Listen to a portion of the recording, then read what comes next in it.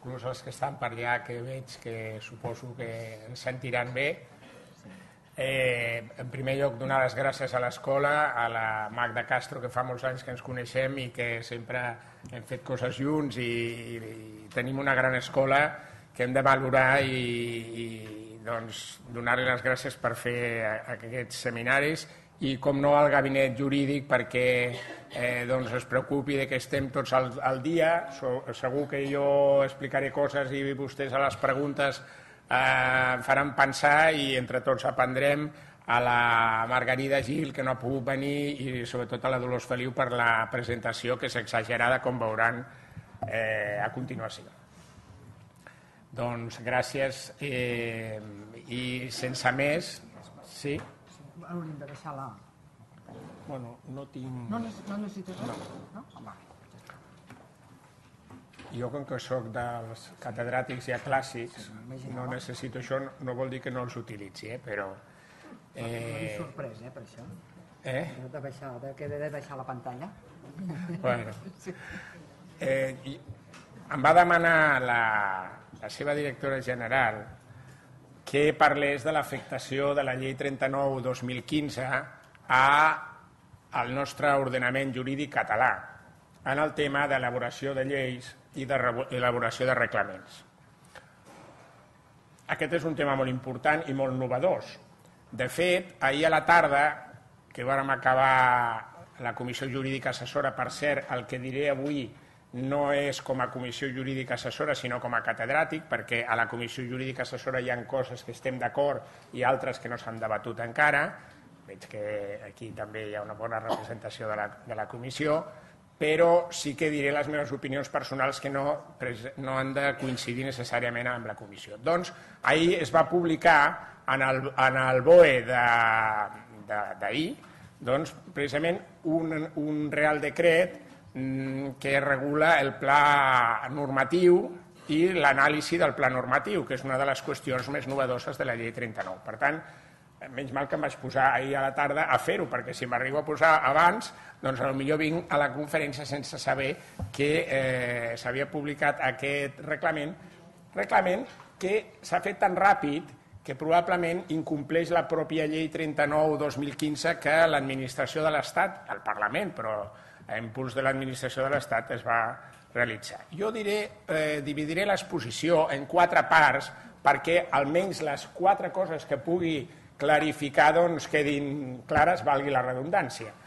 Una, el context econòmic i social que és previ, com sempre, a la modificació del dret, on ens movem i quin era el context, sobretot a nivell internacional, que ha motivat la modificació d'aquesta part de l'ordenament jurídic, de l'elaboració de reglaments i de lleis, per tant, una raó que, que seria més fàctica.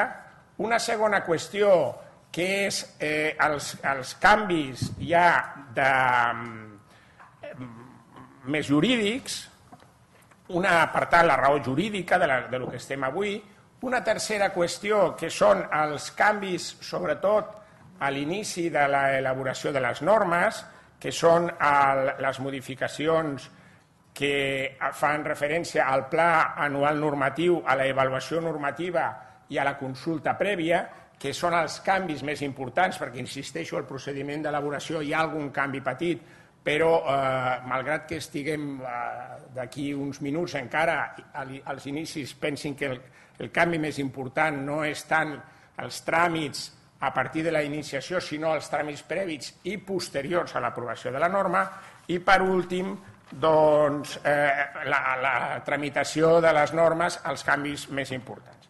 Intentaré, perquè m'ho van demanar del gabinet jurídic, dir eh, què hem de fer en el nostre ordenament i si es necessita una modificació legislativa respecte a les normes bàsiques que ha dictat l'Estat i, per tant, quines són els canvis o quins són els canvis que hem de fer. Per tant, primera qüestió.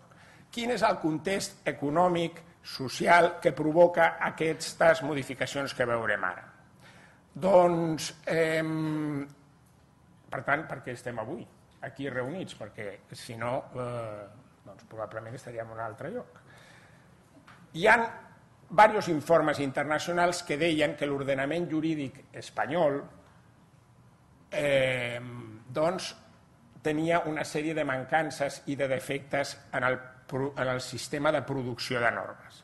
En concret, els informes de la OCDE, Better Regulation in, in Europe, Spain 2014, i ja varen començar amb el 2010, 2011 i 2012, eh, fa un anàlisi, estan penjats a internet, estan en anglès i en castellà, però ja fa un anàlisi de, de la, dels problemes que tenim, que després s'intenten solucionar. L'agenda de la Unió Europea, Better Regulation, també eh, Europa, fa una diagnosi dels problemes a la Unió Europea del sistema de producció de reglaments i directives i decisions afecta amb ells, però molts dels problemes són comuns. Després hi ha un altre informe, el eh, Doing Business del Banc Mundial, que també surt cada any en matèria eh, econòmica i sobretot les facilitats que a nivell internacional es donen per poder obrir un negoci, que és molt important i després el veuré, i que fa una classificació dels països d'acord amb la normativa, i després les, les memòries del Consell d'Estat i de la Comissió Jurídica Assessora que van fent recomanacions respecte als canvis, els canvis necessaris o ens avancem amb alguna qüestió important. Aquests eh, informes internacionals detecten en el nostre ordenament jurídic fins ara una sèrie de qüestions que es podran compartir o no, però jo les explico. Hi ha un llibre que ha sortit de la professora Irene Araguàs que parla d'aquest tema, el, eh, la transparència en el procediment d'elaboració de normes i que resumeix tota aquesta documentació, que és molta, en una sèrie de eh, problemes que són, primer, un excés de normes. Això no és cap novetat, direm, sí, és veritat, hi ha un excés de producció normativa, Eh, això ho hem dit sempre, és un mal endèmic. Hi ha les prim els primers estudis que feia la Generalitat, un llibret de fa mo molts anys de l'Institut de la Tècnica Normativa, ja deia que hi havia masses normes. És un mal endèmic. El nostre portal jurídic de Catalunya, una eina fantàstica que els hi recomano, ja la coneixen, però sempre que parlo en públic, com que el més fàcil és criticar, i no sempre bé, la crítica eh, ha de ser constructiva sempre, encara que sigui crítica, el portal jurídic de Catalunya és una gran eina. Ens diu ahir que tenim 873 lleis, o sigui, els catalans, sembla, tal com ho interpreto jo, tenim 873 lleis que tenim que complir, 8.601 decrets, 19.089 ordres, 583 projectes de llei i diuen Diu el portal que hi ha 7.123 dictàmens que hem de respectar, entre ells els de la comissió. Per tant, ja veuen que això és una selva de normativa i, per tant, probablement la OCDE té raó en què hi ha masses normes. També hi ha altres estudis del Ministeri de Competitivitat. Aquest l'he posat una mica al marge perquè els, les conclusions que arriben són mm, almenys mm, discutibles, diuen que hi ha 2.700 normes de les comunitats autònomes que afecten a la unitat de mercat. Per això es va dictar la llei d'unitat de mercat i la llei d'economia sostenible. Tota aquesta primera mm, problemàtica provoca que la OCDE digui que s'ha d'aplicar una, una tècnica que és la regulatory fitness, un dins i un fora, és a dir, cada cop que s'aplica o s'aprova un reglament o una llei hem d'intentar derogar una, una altra norma. Això ja ho va dir el president Mas, que crec que deia cada, cada vegada que fem un que es deroguin dos, però aquí és veritat que la OCDE aplica aquest principi. Un, un segon problema que es detecta, que veuran que la normativa va intentant eh, solucionar aquests, aquests problemes, és el deficient sistema de publicitat. Les normes costen trobar-les, això tampoc és cap novetat, Per això s'han anat posant en marxa els portals de transparència i les seus electròniques corresponents i, per tant, eh, hem d'intentar que el ciutadà trobi de manera àgil i ràpida la normativa, cosa que no és fàcil. No posaré exemples, però saben vostès que per molts portals de transparència això eh, eh, està funcionant, el de la Generalitat de Catalunya està anant molt bé, el troba ràpid, el de l'Estat bueno, eh, té una altra sistemàtica i a vegades es penja o no, bueno, però això ja sabem que són el tema de les eh, noves tecnologies. Una tercera mm, problemàtica que es troba en aquests informes és el dèficit de qualitat normativa i les excessives càrregues per empreses i ciutadans inclús per les administracions públiques. Aquí els estudis són interessants. Mm, només els hi cito eh, alguna qüestió. Si vostès volen obrir una empresa a Catalunya, l'estudi és de, de l'Estat, eh, el, el Doing Business, aquest informe que es fa cada any, dona unes dades que són com a mínim cridaneres respecte al nostre ordenament jurídic. Sobre 190 països que analitza amb uns criteris clars, el 2013 estàvem al lloc 115 de facilitats, per tant de dificultats, per obrir un negoci. Estic parlant de l'apertura de negoci, eh? perquè després hi ha diverses claus de eh, consecució de llicències urbanístiques, de pagament d'impostos, etc, que aquí pugem al lloc 32. Però per l'apertura de negoci estàvem al 115 la, el 2014 varen baixar al 74, perdó, varen pujar, o sigui, la dificultat, mm, el número 1 és el que és més fàcil obrir un negoci, el 190 és més complicat. 2013, 115, 2014, 74 i el 2017 hem tornat a baixar, per tant, a estar pitjor perquè estem al 85. O sigui que de 190 països, que ja pràcticament tots els que coneixem, Eh, eh, ens diuen que els procediments són molt lents, tenim set dies per cada tràmit del procediment quan a la OCDE és 4,8 i el temps que triguem per dictar aquell tràmit són 13 dies quan la mitjana de la, de la OCDE són 8,3. Per tant, excés de normes, normes complicades, farragoses, que perjudiquen eh, òbviament, als ciutadans, als que volen muntar negocis i també a les administracions públiques. Un quart problema és el baix nivell de participació en l'elaboració de normes. Això diran, home, eh, aquí el tema de la participació, ho veurem després, això, aquí hi ha opinions per tots els gustos. Però sí que és cert que en els, unànimement aquests, aquests informes diuen que hi ha una baixa participació, que sobretot el sistema que tenim al nostre ordenament, la informació pública i l'audiència es donen quan la norma ja està feta i, per tant, que té una eficàcia relativa i recomana que aquest diàleg entre el destinatari de la norma i l'administració pública que la està impulsant es faci al començament de la norma i, per tant, a la fase prèvia de l'elaboració formal de la norma. Aquesta és una regla que eh, demana la OCDE que es faci i que veurem que té el seu sentit perquè a la Unió Europea també s'estava fent. És el sistema del Common i també demana la regulació dels lobbies o grups d'interès perquè són, eh, amb la línia de la transparència,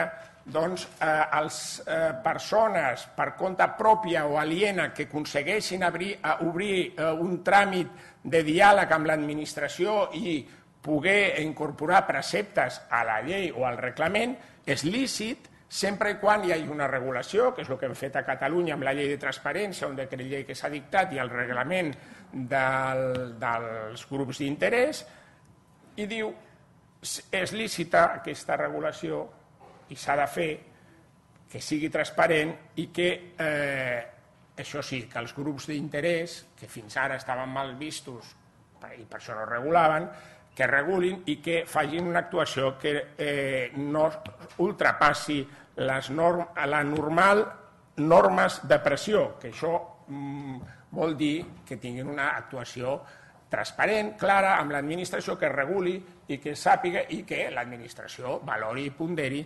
la redacció després d'acord amb l'interès públic, però que s'havia de regular. Això sempre ha hagut dubtes, a la Unió Europea està regulat, com saben, i aquí també ara, i ara s'ha de posar en marxa. Per últim, diu, eh, tenim un deficient sistema de control. Tot això són obvietats, ho sé, però és que convé recordar-les per veure les solucions que s'han donat. Un deficient sistema de control ex ante, per tant, a l'inici de les normes no se sap quantes normes es dictaran, no se sap quan es modificaran, no se sap si, eh, què faran les administracions, l'estatal, l'autonòmica, la local, i expos perquè no saps veritablement com ha funcionat aquella norma i diuen els controls judicials en el nostre ordenament jurídic són deficients. Això tampoc és cap novetat perquè, com saben, malgrat tenir el recurs directe i indirecte contra reglaments, quan recau la sentència han passat molts anys, és difícil que la declaració de nulitat de la norma s'apliqui i, per tant, les conseqüències que ha anat creant aquella norma declarada il·legal han sigut moltes i de difícil reparació. Per tant, un diagnòstic també evident, però que ens ho han tingut que recordar doncs, aquests, eh, aquests informes. Amb aquesta, amb aquesta desoladora, diria, eh, aquest desolador panorama, doncs entrem al segon punt, que és agafen aquests anàlisis, agafen aquests informes i entrem a la raó jurídica de per què estem avui. La raó jurídica és perquè hi ha una modificació de les normes. Hi ha una comissió que vostès coneixen, la CORA, Comissió de Reforma de les Administracions Públiques, constituïda pel Consell de Ministres de 26 d'octubre de 2012, que fa, incorpora tot això i diu què passa en el nostre ordenament jurídic? Quan parlo del nostre, parlo de l'ordenament jurídic de l'Estat i, òbviament, de moment l'autonòmic. Diu, hi ha una inflació, una inflació normativa, una excesiva regulación y deben modificarse las normas mostrando la necesidad de dotar a nuestro derecho público de un derecho administrativo sistemático, coherente y uniforme de acuerdo con una, mejor, una mejora de la calidad normativa. Per tant, diuen, anem a canviar la regulació de normes. I què fan? Fan dos lleis, això ja sabi, eh, ho sabem tots, la llei 39-2015 i la 40-2015. I aprofitant que el Pisuerga passa per Valladolid, no podia passar per un altre lloc, eh, fan aquestes dues lleis, una que diuen que té eh, o que regula les relacions administració-ciutadans, relacions ad extra, i l'altra relacions ad intra entre les administracions públiques. I amb això es diu que es superaran els problemes perquè a la primera s'incorpora el procediment d'elaboració de normes, lleis i reglaments. Quan el,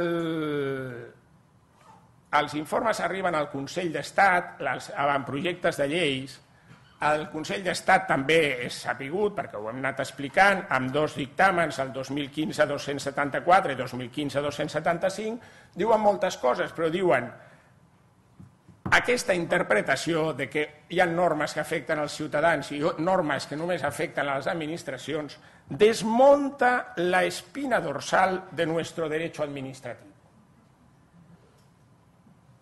Més clar l'aigua. Malgrat això, no varen fer cas i es pensen que s'ha solucionat el tema fent aquesta regulació. Regulació que en alguns aspectes millora eh, la llei 3092, però la majoria ha sigut eh, bueno, doncs, incorporada amb la mentalitat de l'advocacia de l'Estat, que ens sembla fins a aquest punt correcte, però sense tenir en compte altres qüestions, la sensibilitat autonòmica i les necessitats dels ciutadans. En aquest dictamen, i entrem més en el tema, eh, al veure que la llei 39-2015 incorpora el procediment d'elaboració de normes amb caràcter novedós, perquè el procediment d'elaboració de normes el Tribunal Constitucional havia dit que era un procediment especial i, per tant, no comú, i, per tant, que no es podia regular, era la sentència 204 barra 92, a la, la llei de procediment administratiu perquè el 149 1.18 parlava del règim, de les bases del règim jurídic de les administracions públiques i del procediment administratiu comú i els procediments especials, per tant, no estaven subjectes a la regulació de la llei 3092, el, eh, la llei, la llei 39-2015, va decidir fer cas omís de les recomanacions del Consell d'Estat. I, per tant, es va incorporar com a procediment administratiu comú, malgrat que es va ampliar llavors l'àmbit competencial o, o l'engars amb la constitució d'aquesta llei, doncs un títol sisè que és de la iniciativa legislativa i de la potestat per dictar reglaments i altres disposicions que són els articles 127 a 133 de la llei 39-2015. Fins ara no els estic res més que refrescant la memòria, però és important perquè eh, hem de veure d'on partim i hem de veure on arribarem, que encara no hem arribat. La disposició final primera amplia el 149.18 i diu que aquesta llei també està dictada a l'empart de les bases de coordinació de la planificació general de l'activitat econòmica, el 149.13, que ja coneixíem de tota la vida, quan no tens títol competencial, com per exemple per prohibir les curses de braus, doncs sempre està per sobre, òbviament, la, coordinació de la planificació general de l'activitat econòmica, òbviament estic parlant de millorí, per sobre de la protecció dels animals, clar. i la Hisenda General, article 149, 114 perquè tota la reforma té un caire economicista degut al informe que els he citat, el Doing Business de, eh, i als informes del Ministeri d'Economia al respecte. I es diu disposició final cinquena, en el termini d'un any la, les comunitats autònomes tindran que adaptar el que veurem ara a al seu ordenament jurídic. Per tant, el sistema que es regula en aquesta llei doncs es tindrà que adaptar en el termini d'un any des de l'entrada en vigor que va entrar el 2 d'octubre. Aquí també eh, hi ha dubtes, perquè uns diuen que no va entrar el 2 d'octubre, que era un diumenge, 2 d'octubre de 2016, sinó el 3.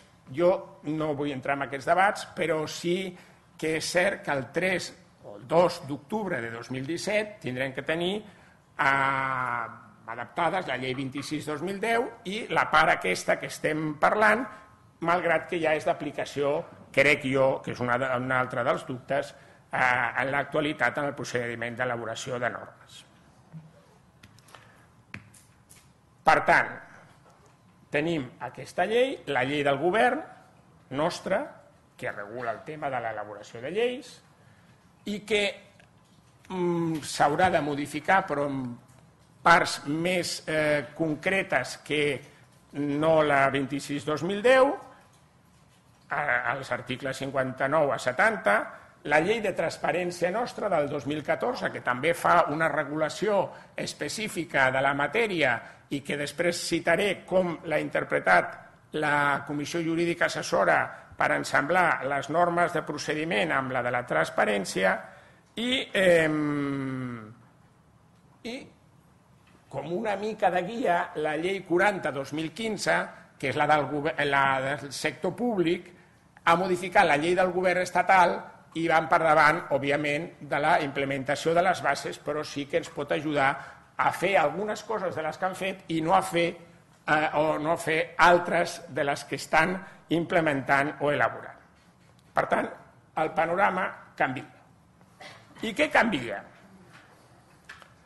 D'aquesta normativa, i estic al punt 2, acabo, Lo important és que jo diria tres coses, o dos. Una, que abans del 2 d'octubre hem d'adaptar les nostres lleis, això ja ho he dit. Tenim tres possibilitats. sense perjudici del que pugui passar en aquests propers mesos, tres possibilitats. Modificar la llei 26-2010, modificar la llei del govern per les lleis, la 26-2010 pels reglaments, o fer una llei nova.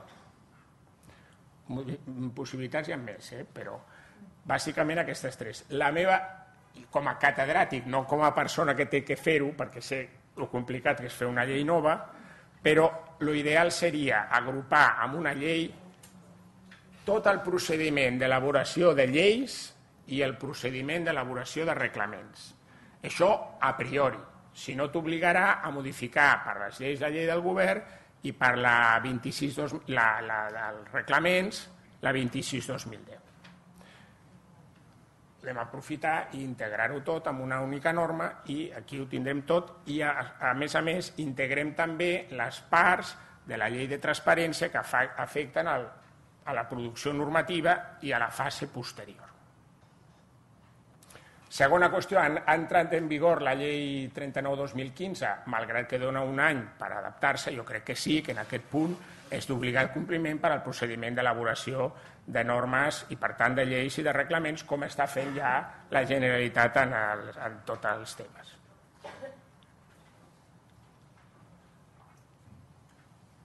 I tercera, que el que s'afecta són la fase prèvia i posterior de l'elaboració de les normes que on veurem ara. Sí que és veritat que s'ha incorporat una sèrie de principis, que també els cito, també els saben, que han de respectar les normes quan es fagin.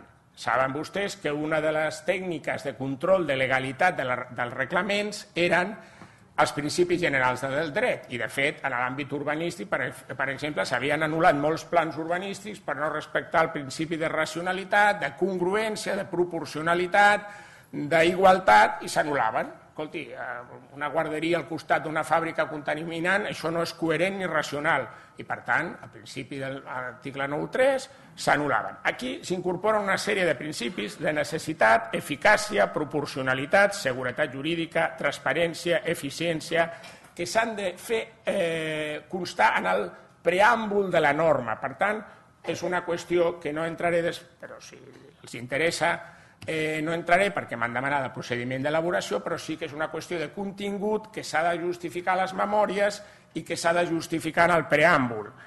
I eh, bueno, el de seguretat jurídica diu que la norma ha de ser certa, ha de ser clara, perquè els ciutadans la puguin eh, trobar fàcilment.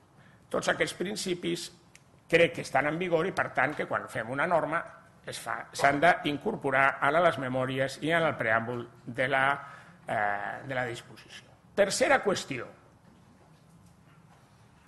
Tercera qüestió. Ara ja anem a entrar en una mica més concret i més avorrit, però és que hem de fer-ho. Qüestions novedoses de la llei 39-2015 i que s'han d'incorporar eh, en el nostre ordenament.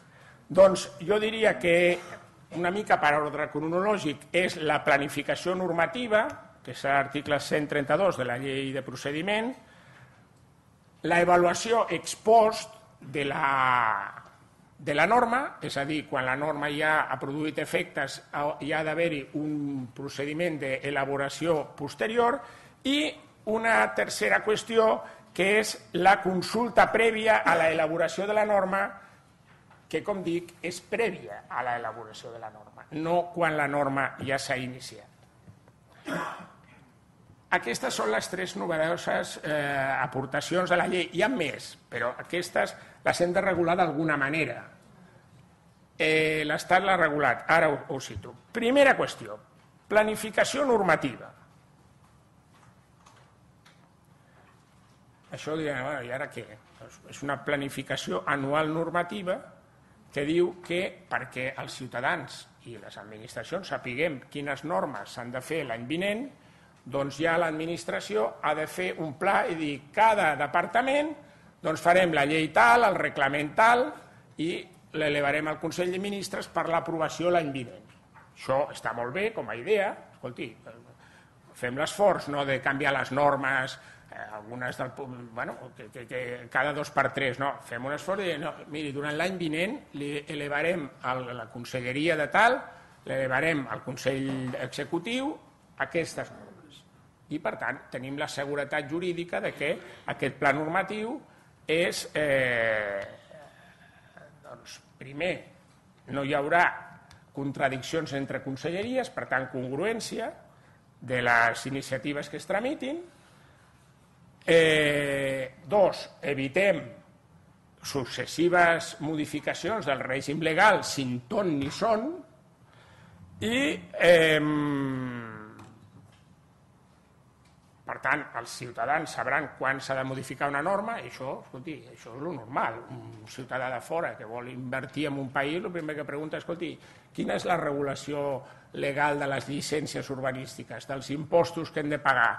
Clar, si això es va canviant cada dos per tres, escolta, no inverteixes allà. Doncs, per tant, congruència entre els diferents departaments, evitar successives modificacions de la norma sense més previsió que aquesta i després una anàlisi de l'impacte de que aquestes normes tindran sobre la pròpia administració, el que costa posar-ho en marxa, i sobre els destinataris de la norma que han de saber si hi ha més o menys càrregues o estalvis que eh, abans. Per tant, el pla anual normatiu pre pretén això. Escolti, vostè digui'm d'un any per un altre què vol aprovar l'any següent. Això estaríem d'acord. Això s'ha d'incorporar. He vist que en el portal de transparència de la Generalitat hi ha una relació de normes que s'aprovaran durant el 2017.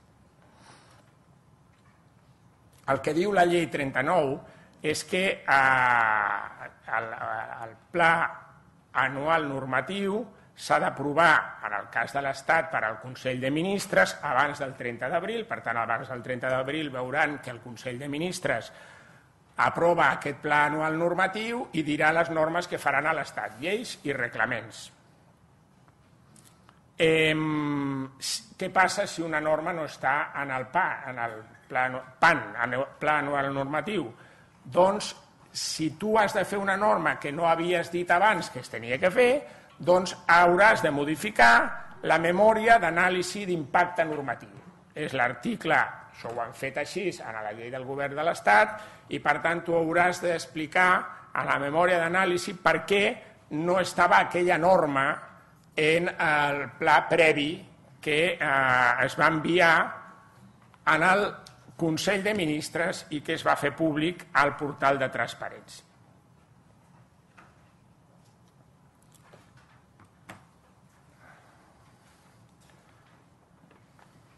De moment estic dient el que diuen. Ara veurem el que han fet.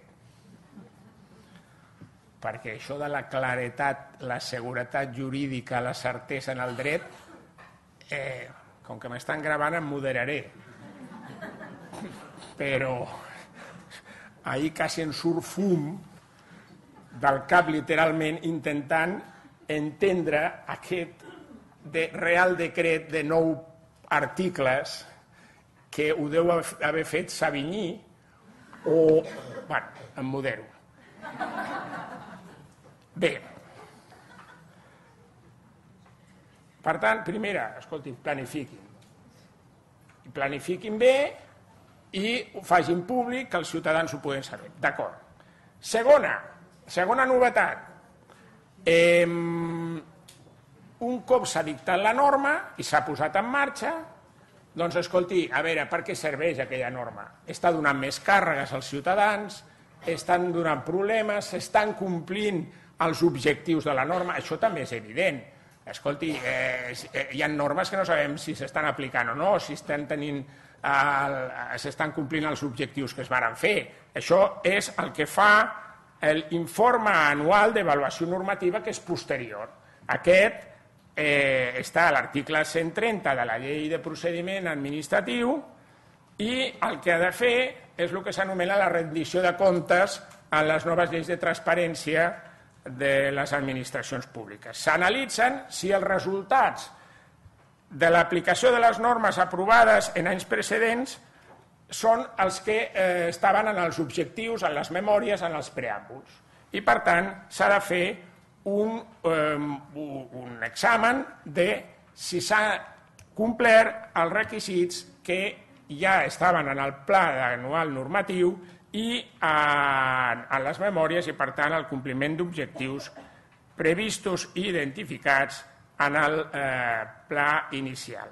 En què concretament? Doncs aquest Real Decret que va sortir ahir doncs diu que algunes normes, no totes, no concreta quines, tindran que ser sotmeses a una avaluació posterior, sí que queda clar que no és a l'any de l'aprovació de la norma, sinó que el que va dir el Consell d'Estat, i això han seguit, és que depèn, que a la pròpia memòria d'avaluació d'impacte es dirà quan eh, s'ha d'avaluar aquella norma i s'ha d'avaluar sobre uns criteris els llegeixo perquè, insisteixo, són els d'ahí. Coste o ahorro presupuestario significativo para la Administración General del Estado, aquí això ho tindrem que regular també. Incremento o reducción de cargas administrativas para los destinatarios. O sigui, ho llegeixo bé. El plan anual normativo identificará las normas que habrán de someterse a un análisis sobre los resultados de su aplicación, atendiendo a los siguientes criterios que diu coste o ahorro presupuestario, incremento o reducció de càrregues administratives, per tant veurem si aquella norma que pretenia la comunicació prèvia o la declaració responsable, que pretenia fomentar la restauració a àmbits no sé què, està funcionant o no, o dona inseguretat jurídica, incidencias relevantes sobre los derechos y libertades constitucionales, conflictividad previsible con las comunidades autónomas, aquí ya están en la, el hacha de guerra antes de empezar, Impacto sobre la economía en su conjunto, impacto relevante por razón de género, que això ja ho teníem a les memòries d'impacte, i impacto relevante sobre la infància i l'adolescència o sobre la família. Aquestes normes, dic no totes, però aquestes que puguin estar aquí, clar, l'administració tindrà que dir quines es a avaluació i quines no. Si tenen algun d'aquests continguts, tindran que sotmetre's a avaluació. Diran, escolti, i, i què? I això què? Doncs, bueno, anem a veure.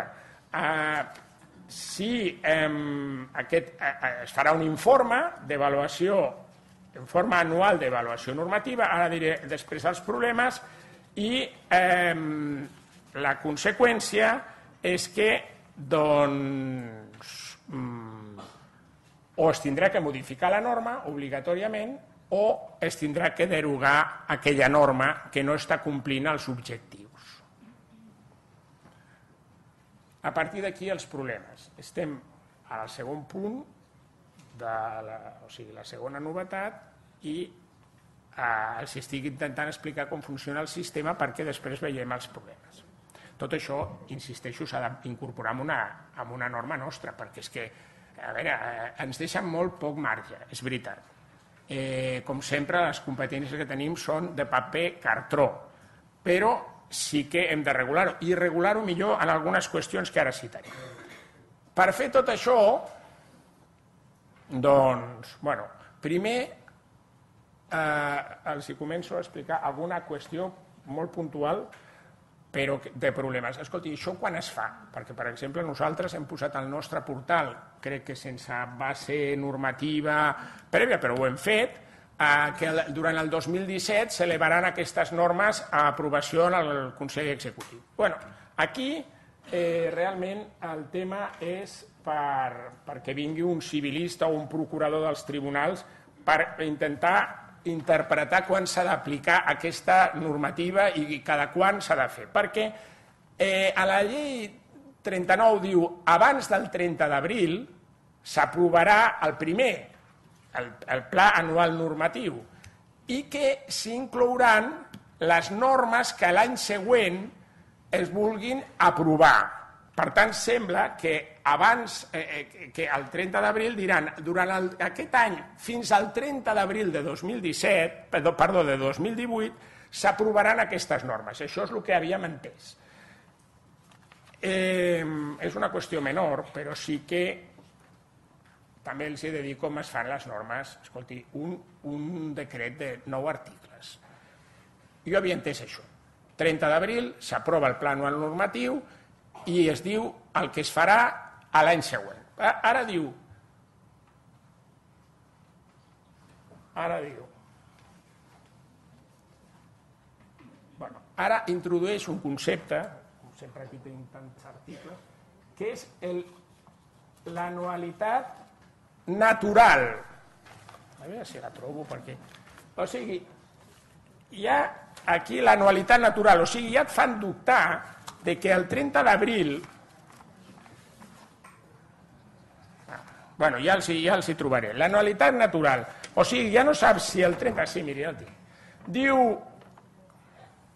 Eh, vostès que són juristes, acá, aquí totes les... A veure si m'ajuda. Diu, preàmbul, eh? El que tenia que ser claro, cierto, evidente, facilísimo, tal.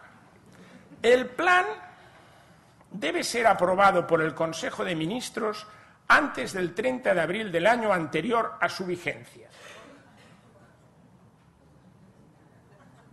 30 d'abril del 2017 al 30 d'abril del 2018, però clar, si comença a donar-li voltes a la frase de, en qüestió, al, año anterior a su vigencia. Què vol dir? Que no està vigente. Bueno, primer dubte, però estem al preàmbul, no solucionarà. Artículo 2.1. Ah! El plan anual normativo de la Administración General del Estado está constituido por las iniciativas legislativas o reglamentarias que los distintos departamentos ministeriales prevean elevar cada año natural al Consejo de Ministros para su aprobación. Aquí ja m'han fotut, perquè l'any natural, què vol dir? 30 d'abril, 30 d'abril, o 30 d'abril, 1 de, 31 de diciembre. O, inclús, la meva dona, que és procuradora, li vaig dir, això què vol dir? Ara t'ho miraré. Dic, bueno, m'ho has de mirar tu, no ho entenc jo. Parlo amb la que ha fet el la professora Irene Aguas, diu, mira, no, no tinc ni idea. Bueno, però espera. Diu, Clar, esperis, no, que no acaba aquí la història. Escolti, nou articles, eh? La seguretat, la... Diu, això sí, el Consejo de Ministros lo enviará, lo enviará al Consejo de Ministros para su aprobación antes del 30 de abril del año anterior a su vigencia. Torno a repetir-ho d'abans. Però, després, clar, te'n vas, d'anar sempre, a la disposició transitòria única i ja comencem tío Paco con las rebajas. El primer, el primer plan anual normativo que se elabore tras la entrada en vigor de este Real Decreto no está sujeto a los plazos previstos en el artículo 2. O sigui, ell mateix ja s'incompleix. Els he de dir, espero, a veure, eh, els he de dir que en el procediment d'elaboració tampoc han respectat tot el que anem a veure ara. No sé si m'estic passant del temps. Quan en Ja, queda? ja. Estem a la, estem a la ratlla, però bueno. Deu, tinc cinc minuts? Sí, tant. Sí? Bueno, i...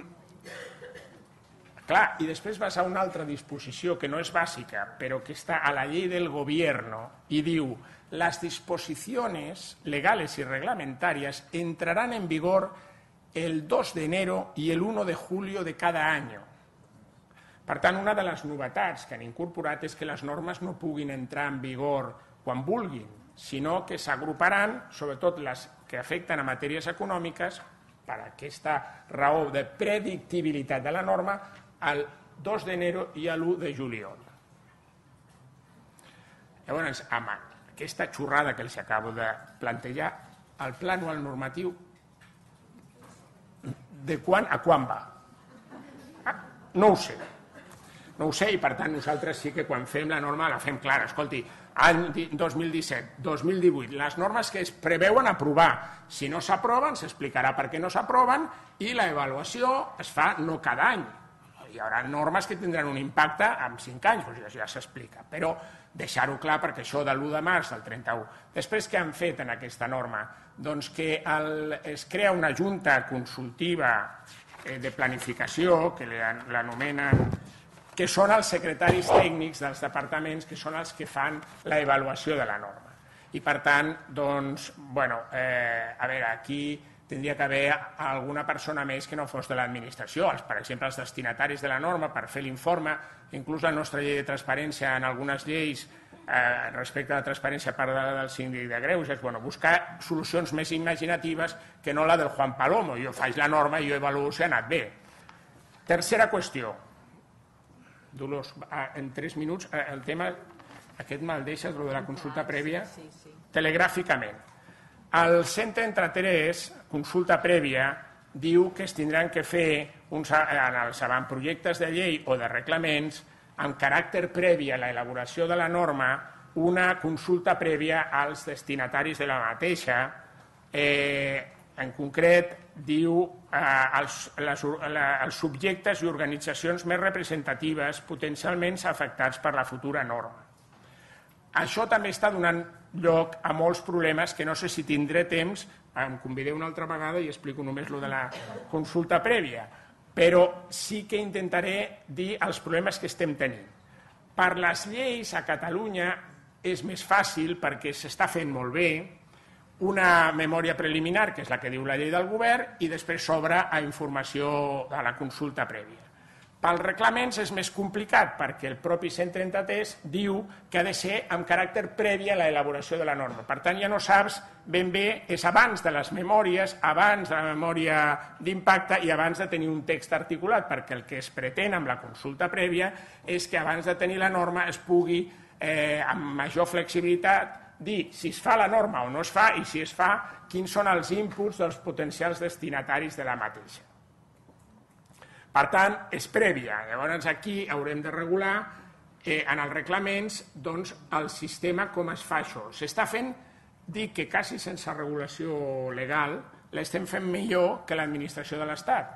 I no és perquè es compri cap a casa, que és veritat. Miri, s'han fet, s'ha obert una consulta prèvia a la, per la regulació del reglament de la llei 39-2015 i diu, se abre consulta prèvia, això està, para que los potenciales destinatarios de la norma, o sigui, tots, aleguen lo que crean conveniente en este reglamento. Digo, oiga, a ver, eh, si vostè no em dona algun paràmetre, què vol que alegue? Jo no puedo alegar nada de la nada. Estem d'acord o no? Això ho ha entès molt bé, per exemple, la Conselleria d'Afers Exteriors, eh, Transparència, que tenen un reglament penjat que està, escolti, els hi faig una sèrie de preguntes a vostè destinataris, això, això, això, eh, volen que ho reguli, que no ho reguli, com creuen que s'ha de regular això, eh, quin, quins són els documents que li proporciono i li proporcionen documents perquè el, el destinatari de la norma pugui dir el que creu convenient. Això és el que eh, vol aquest 133. S'ha de penjar la web del departament competent i, per tant, pot participar aquestes persones. Quan no es pot, no, no, es pot prescindir? Doncs ho diu la llei propostes que no tinguin impacte significatiu en l'activitat econòmica, no imposi obligacions rellevants als destinataris, reguli aspectes parcials d'una matèria, això, si plau, ho interpretem de manera eh, molt acurada, perquè si no ja no es faria aquesta consulta, i eh, per raons greus d'interès públic es pot saltar aquesta consulta. La, el problema que tenim a Catalunya, i que això sí que eh, en un minut ho, ho explico, és que tenim la llei eh, de transparència, article 69, i no sabem si és el mateix tràmit que el 133 de la consulta prèvia a la llei 39 i, per tant, com s'ha d'implementar a partir d'ara l'elaboració de normes.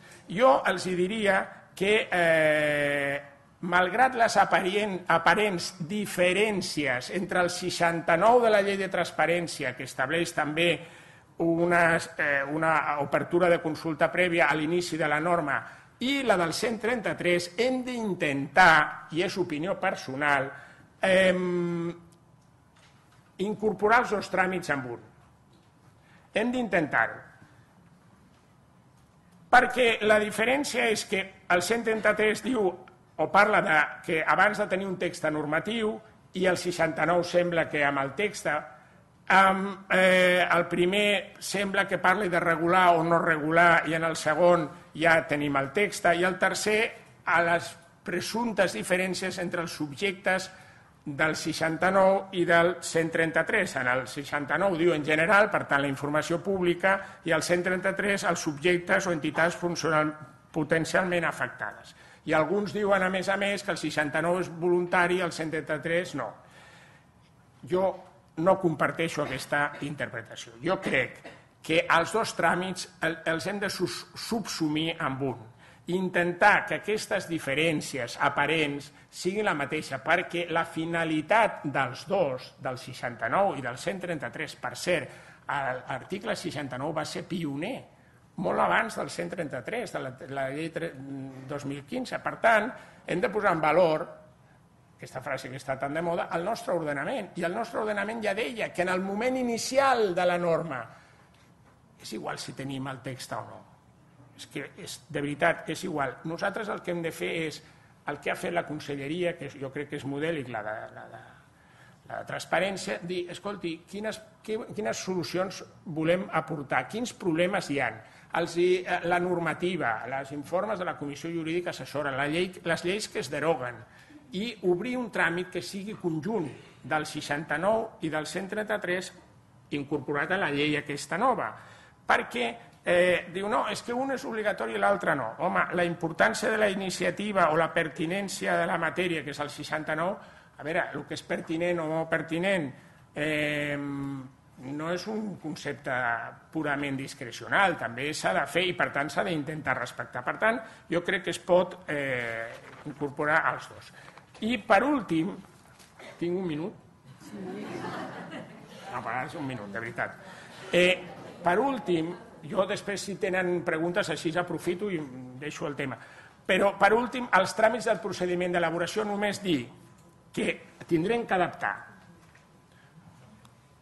l'audiència i la informació... Me'n salto. Tenim la memòria d'avaluació d'impacte, la memòria general, els informes jurídics, això, tot això queda igual, els reglaments, m'estic parlant, i tenim els tràmits participatius, a dir, audiència i informació pública. Aquí això ho hem de uh, millorar, perquè millorar relativament, eh, però almenys a la pràctica, perquè a la llei 39-2015 la informació pública és obligatòria també, no és potestativa com fins ara.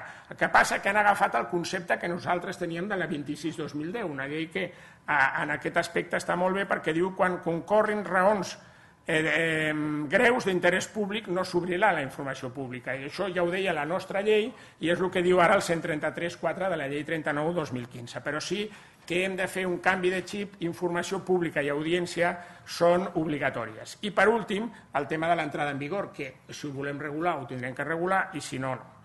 En definitiva, perdoneu que m'hagi estès en excés, però és que el tema eh, és culpa del tema, no del punt. Moltes gràcies per la, per la paciència.